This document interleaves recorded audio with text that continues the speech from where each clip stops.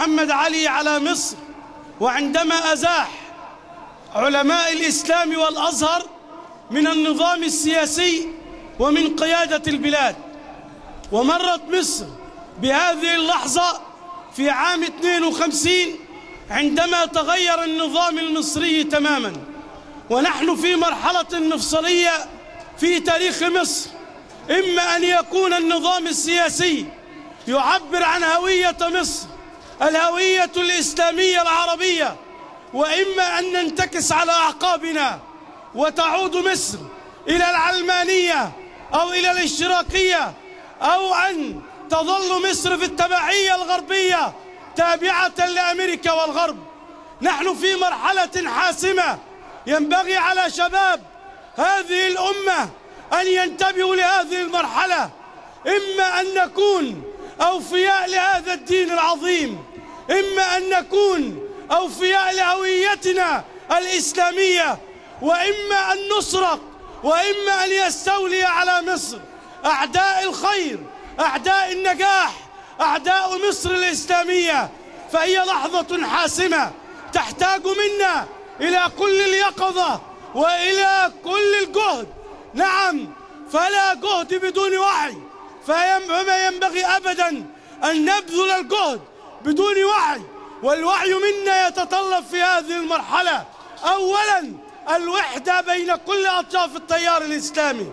فلا ينبغي لنا أن ندخل إلى هذه المرحلة الحاسمة. ونحن منقسمون متفرقون وأعداؤنا كلهم يد واحدة. ضد من؟ ضد هوية هذه البلد. ضد نظام هذه البلد. ضد استقرار هذه البلد أول شيء ينبغي علينا أن نعيه وأن نعمل له هو الاتحاد بين كل أطراف الحركة الإسلامية. نعم. هذا الاتحاد ينبغي علينا فيه أن نخلص النية لله تبارك وتعالى. فما يكون لنا أن نتحد بدون إخلاص ولن يكون الاتحاد إلا والإخلاص هو قائده. ومن ترك الإخلاص لن يتحد. ومن تمسك بحزبية أو بعصبية أو بفئوية أو بمصالح خاصة لجماعته أو حزبه فقد ترك الإخلاص. نعم ينبغي علينا في هذه المرحلة الحاسمة أن نتجرد لله وأن نخلص النية لله وأن نضع أيدينا في يد بعض. وبفضل الله تبارك وتعالى أتم إخوانكم في حزب النور والأصالة اتحاد تام وتنسيق تام في هذه المرحلة في مرحلة الانتخابات. ونتمنى وكنا نتمنى أن يكون الأطياف الإسلامية كلها متحدة ولكن ما زال الطريق لذلك صعبا وما زالت فيه أشواك تركها كثير من الهوى والمصالح تركها كثير من تحليلات ورؤى سياسية. ترى أننا ينبغي علينا أن يكون لكل وجهة وأن يكون لكل منا حزبه. هذه رؤى ولكن الرؤية الحقيقية أنه ينبغي على كل المسلمين أن يتحدوا في هذه المرحلة الحاسمة. النقطة الثانية وهي المرحلة الثانية وهي الانتخابات البرلمانية القادمة. هذه الانتخابات البرلمانية سوف تضع أول برلمان حر في تاريخ مصر. حر يأتي عن طريق إرادة شعب. هب في يوم 28 يناير يعلن رفضه للظلم يعلن رفضه للاستبداد يقاوم طاغية لم يسبق لمصر أن حكمت بمثل حكمه. ثلاثون عاما من الظلم والاستبداد والقهر والسجون والمعتقلات وكل ذلك ضد من؟ ضد من يقول لا إله إلا الله محمد رسول الله.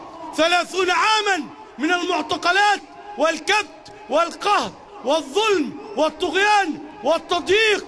نعم ثلاثون عاما مرت على هذا الشعب في كبت واستبداد قمع للرأي ولكن هذا الشعب العظيم هب من سباته في يوم عظيم ليس يوم 25 ولكن اليوم الفصل والله لقد رأيته رأي العين. إنه يوم الجمعة 28 يناير عندما خرج الشباب يضحون بأرواحهم من أجل أن يتحرر هذا الشعب العظيم من فرعون. جثم على صدر هذه البلاد يبطش ويسرق ويفسد كيفما شاء. المرحلة الحاسمة مرحلة تلك الانتخابات. وأنت حر الآن لا أمن دولة ولا مخبرين. ولا معتقلات. أنت حر أيها الإنسان أيها المصري أنت حر. تذهب إلى صناديق الانتخاب بحرية تامة والأمانة في عنقك. تختار الأمناء على هذا الوطن الأقوياء الصالحين الذين يستطيعون أن يعبرون عن رأيك ويعبرون عن هذا الشعب العظيم في مرحلة حاسمة ويؤسسون لبرلمان. يصدع لهذه الأمة بهويتها ويقر ويقر دستورا يقر هوية هذه الأمة الإسلامية العربية لا دستورا غربيا لا دستورا أمريكيا. برلمان يحرر مصر ويحرر شعب مصر من التبعية والذل للأمريكان من التبعية والذل لإسرائيل من التبعية والذل للغرب. نحن في مرحلة حاسمة. لا أريد أن أطيل عليكم. فإنه ربما كان وقتي من الحديث قصير وأرى ورقات كثيرة ولكنني أنا أسمع كلام الدكتور هشام. ولكنني أقول بكل وضوح أننا في هذه المرحلة الحاسمة الأمانة في أعناقنا شديدة. والله إنها لأمانة إما أن يؤسس لنظام مستقل حر وطني يعبر عن هوية هذه البلد وإما أن نعود ننتكس في ظل تبعية الأمريكان. نعم وانتقل من هذه إلى النقطة الثالثة التبعية للأمريكان إن أشد ما يقلق الأمريكان والغرب ليس التيار الإسلامي بعنوانه فقط ولا فزاعته إنما والله المضمون الحقيقي هو نظام مستقل نظام متحرر من التبعية للأمريكان والغرب. نظام مستقل وطني.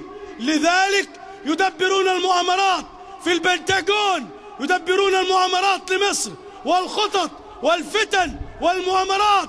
وما حدث في مسبير يوم 19 وما يحدث غيره من انفلات أو غير ذلك. كلها خطط الأمريكان.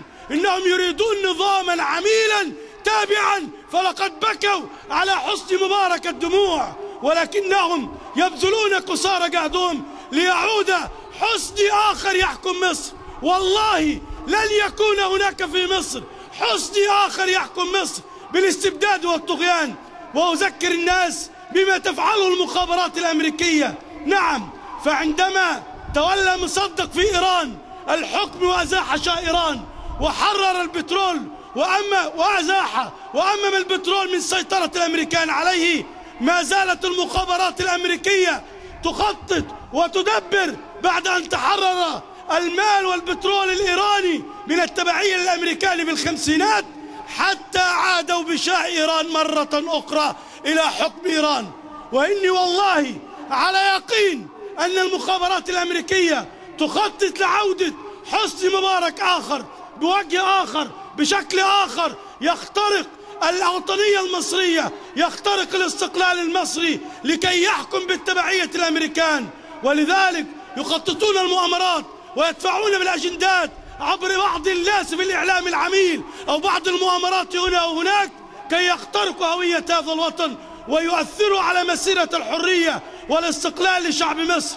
ولكني والله أختم كلامي أن هذا الشعب العظيم هذا الشعب الحر الذي عرف طريق الحرية بإذن الله الواحد الأحد لن يرجع أبدا للاستبداد لن يرجع أبدا للظلم والقهر لن يرجع لأي حسن مبارك آخر.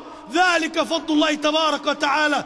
فتمسكوا بحريتكم تمسكوا بدينكم وإن والله لصابرون وصامدون على أن نحقق لهذه الأمة الأمانة التي في أعناقنا ونحررها من قيد التبعية لكل الأجانب ولكل لكل نظم الغرب العميلة وسوف تكون مصر بإذن الله حرة مستقلة عربية إسلامية. هكذا عرفها التاريخ وهكذا تعود بإذن الله. وشكرا لكم.